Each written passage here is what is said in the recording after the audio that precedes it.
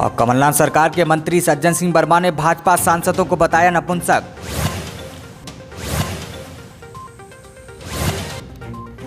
गुजरात के नर्मदा ज़िले में स्टेच्यू ऑफ़ यूनिटी की रोड पर हुआ भीषण बस हादसा।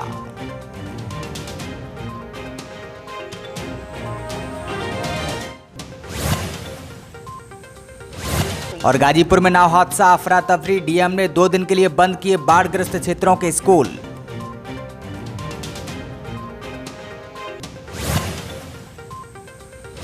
महाराष्ट्र बीजेपी की फाइनल लिस्ट जारी, कमल के निशान पर लड़ेंगे 12 सहयोगी।